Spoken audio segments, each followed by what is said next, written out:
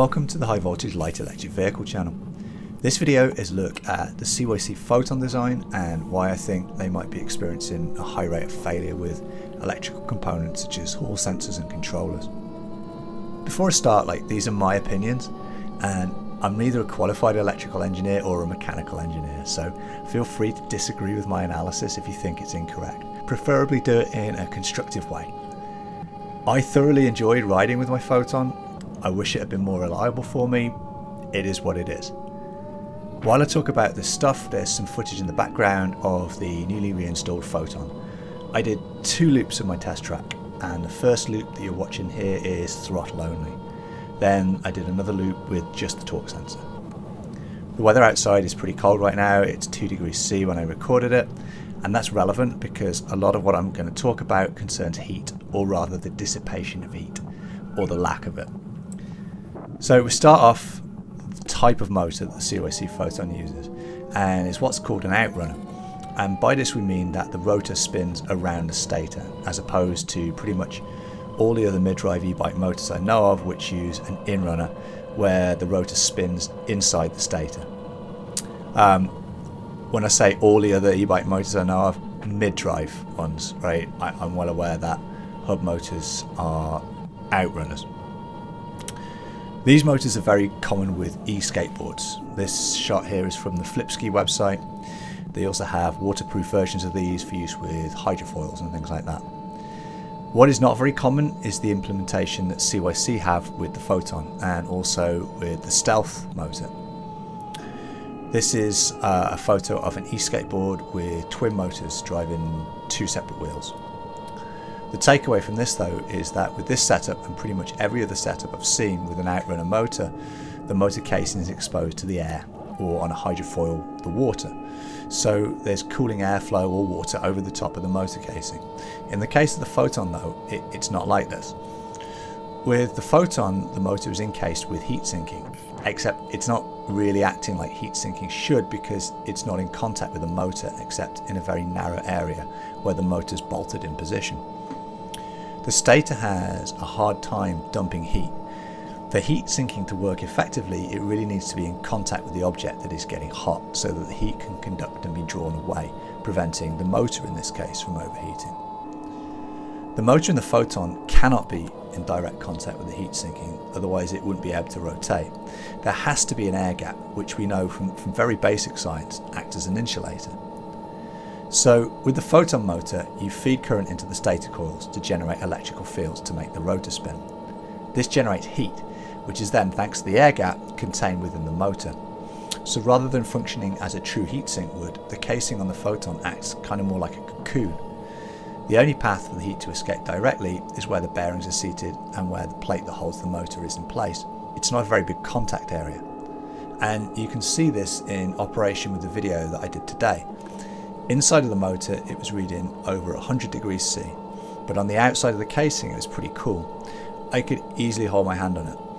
The controller and the area around the reduction gears was warmer to touch than the casing surrounding where the motor spins. In the summer when it was 30 degrees C and over outside, the whole motor did eventually get hot, but still not close to the internal temperature, which was over 100 degrees centigrade. The effect of all this is that especially in the summer, the motor will rapidly build heat to the point of throttling. Even running it at its rated 750 watts, the motor will build heat quite fast, and if you run it unrestricted at higher power, even more so. Like a quick burst of pedaling on the flat will see the internal temperatures shoot up. In colder conditions, like I'm running it here unrestricted, I was able to get it to throttle pretty easily. It's very easy to bring the motor up to the point of throttling the motor then sits at that point for long periods of time and it's difficult for it to cool down effectively, especially you know doing things like, like long hills because of the encased nature of the motor and the narrow heat paths. Now CYC do use high quality magnets in the motor, apparently capable of withstanding 140 degrees C. The issues though, I don't believe are failing magnets, it's failing electronics, and in my case it was the hall sensors. Electronics in general do not like high temperatures for many reasons from degradation of solder joints in insulating materials, altered behaviour of semiconductors, increased resistance, reduced lifespan in things like capacitors. The higher the temperature, the higher the rate of failure, and it's a logarithmic curve. So the failure rate at 90 degrees C is twice that of 80 degrees C, and twice that again at 100 degrees C. It's not a linear graph. So what I suspect happens with the photon is the electronic components are subjected to high levels of heat for extended periods of time. Especially in the summer, motors are getting above 90 degrees C and staying there, never really cooling down. And that puts the electronics in a temperature zone that can result in a high rate of failure. When you have an in-runner, the stator is in direct contact with the heat sinking, so transfer is rapid and efficient. Here, it's, it's almost like an oven there are some other aspects of the motor that are not really helping with this either. If you look at the way the motor phase is linked to the controller, it's a very direct plug-in pin, which is another very direct transfer path for heat between the motor and the electronics. The Hall sensors also connect to the controller in a way I haven't seen before with an e-bike motor. They use spring-loaded pins which compress against contact plates on the other side, and again it's a very direct transfer for heat. Usually these kind of things are done with wires and plugs, I think I understand why it's been done because the result is an extremely compact motor able to use a really wide range of chain rings and deliver a really good chain line with them. But is that then resulting in an increased risk of failure? Is the rating of 750 watts a bit optimistic? One of the reasons to get the Photon is because of its high performance, the ability to push the power. It's not a cheap motor, so if it's at 500 watts on it, I you know I don't think you can really justify a thousand dollars. Is it sensible to allow the motor unrestricted? Are we just asking for problems by doing that? Like if I'd have left this at 750 watts max, would the Hall sensors have failed? I did nothing wrong by running it unrestricted and it's well within its warranty to run it up to 2000 watts. The issue for CYC is if they were to say it's 500 watt motor and cap the power at 750 watts peak, it's kind of a lot less fun. Like people are buying these because you can run them like this. I know I did. If they restrict it to a more sensible power level, it's $1,000 plus for a 500 watt motor, which is expensive regardless of how nice the app is or the styling of the motor. I'm sure that CYC will release a Gen 2 of this motor, but unless they change the actual type of motor being used, I don't really see how they can improve the way the motor sheds heat. If they do a larger Photon, unless they make it an in-runner, won't it just have the same issues here, except they'll be forced to say it's a 3 kilowatt motor just because it's bigger?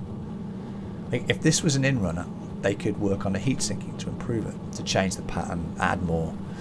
But they can't really increase the contact area for heat transfer with an outrunner.